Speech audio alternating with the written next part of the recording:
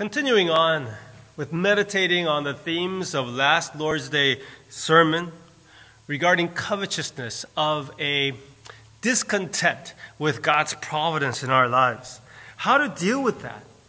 I said last week that the way that you cure hunger is not just by saying no to hunger. The way that you cure greed, your soul hunger, is not just to say no to greed, but to fill it. To fill it not with bad things which will harm you, which great greed for temporary things is. It's candy that will do harm in the long run and not, cannot provide any lasting pleasure. Anything that, that ties you to this life, this world. But you are to fill that hunger with what it was what it's there for.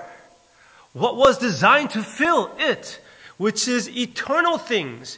Keep your eyes on the things that are above, where Jesus is, where your life in Him is, where your identity is. Set your sights high, set it above. But I didn't get to elaborate too much on what those things might be. What are these things that are above? I, I, I gave you the main thing, main aspect, which covers it all, which is Jesus. But when we talk about Jesus, we can differentiate in, uh, regarding different aspects of Jesus that we can focus on so that our lives overall are oriented toward heaven. Our anchor is in heaven while we walk this earth. Let me give you one of my favorite, one of my life passages from the scriptures. 2 Corinthians chapter 4, 2 Corinthians chapter 4, verse 16. Particularly useful when we are giving in to great greed, covetousness, when we are surrounded by things that would cause us to worry, like we talked about yesterday. He says this, when we are under these stresses, we do not lose heart. 2 Corinthians chapter 4 verse 16. We don't lose heart. We don't give up. We don't despair. Though our outer self is wasting away. Our outer self can waste away. It's gonna waste away. Our physical bodies are not meant to last forever anyway. Our, all our physical surroundings are temporary. Everything was brought in a day. Everything was brought by truck and it can go in a day says, For this light, momentary affliction is preparing for us an eternal weight of glory beyond all comparison, as we look not to the things that are seen, but to the things that are unseen. For the things that are seen are transient, they're temporal, but the things which are unseen are eternal. What are these unseen things that we should set our eyes on? First of all, Jesus, obviously. I'm going to move quickly. Secondly, in Jesus, our Heavenly Father, our eternal citizenship. Within that citizenship, others who hold that citizenship. My brothers and sisters in Jesus Christ, with whom I will have an eternal relationship, with whom I will share eternal fellowship. Eyes open to see the eternal bond, the love of the Father, Son, and Spirit that we will share together. The ability, the opportunity to invest everything, everything, not just for this time, but for the time to come. All of our physical resources, even the money that we have, we can invest it in eternity. It is our birthright to live for something beyond the here and now. How tragic, how temporary, how fleeting, how shallow, if this is all there is. But the wonderful teaching of scripture, the scriptures is, in Christ, open your eyes. All of the things around you point to eternal realities and the light affliction you face in dealing with these present things are working for you an eternal weight of glory. Persecution, a shot in the head, a light momentary affliction, the shock of the stop of my body function, the split second, it's over. And it's working for us eternal way to glory as I look to Jesus even through that moment's open door. You see? From everything from persecution to death to your cold that you endure every year, most of us, at least a couple of times.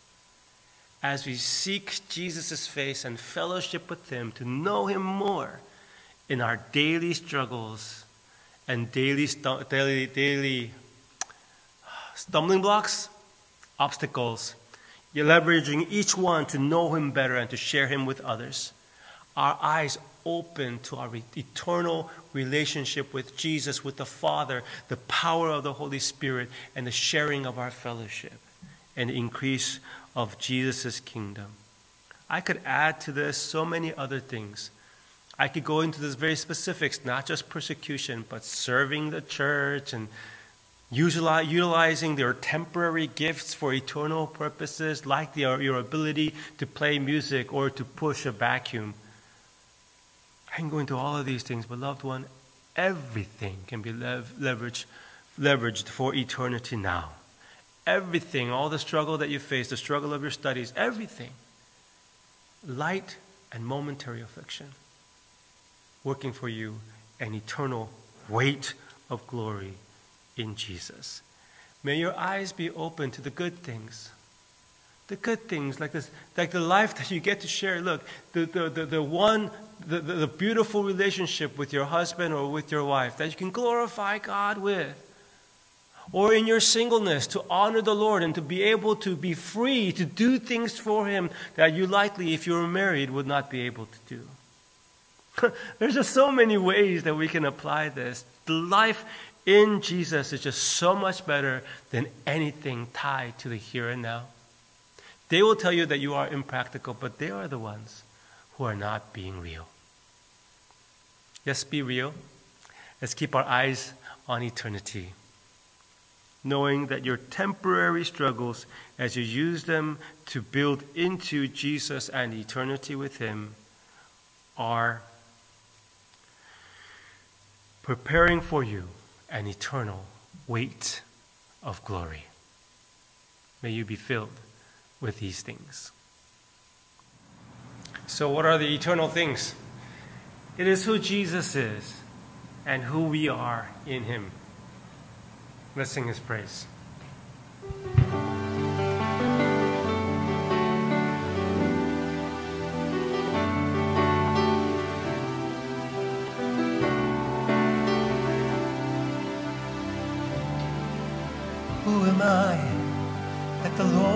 Of all the earth would care to know my name, would care to feel my hurt.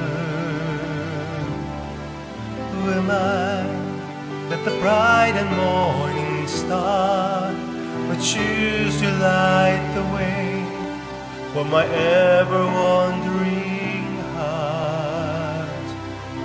Not because of who I am but because of what you've done, not because of what I've done, but because of who you are.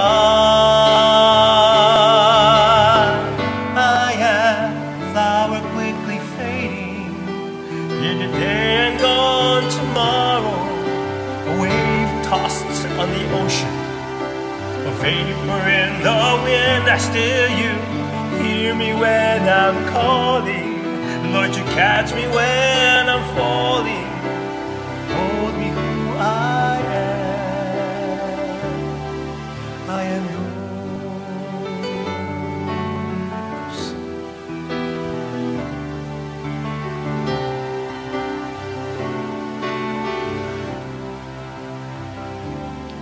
And who am I that the eyes that see my sin would look on me with love and watch me rise again. Who am I? The voice that calmed the sea, call out through the rain and calm the storm. in me. Not because of who I am, but because of what you've done. Because of what I've done, but because of who you are. I am a flower quickly fading, here today and gone tomorrow.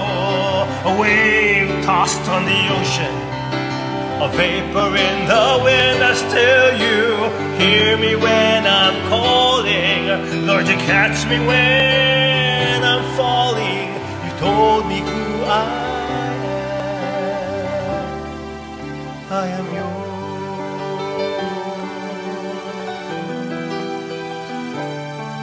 I am yours.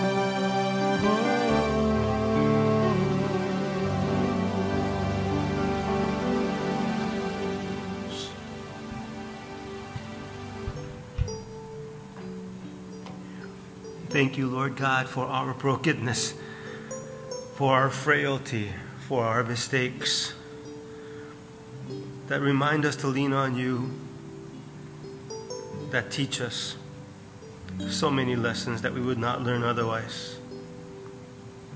Help us to redeem this time that you have given to us for eternal things, to have our eyes of eternity wide open and never to force them closed, never to allow ourselves to be tied down to the things which are seen, which are so temporary, transient. Keep our eyes focused on you, King Jesus, the eternal one. And from that place of security and eternal meaning and purpose, help us, Lord God, to live this day in your way. In Jesus' name we pray. Amen.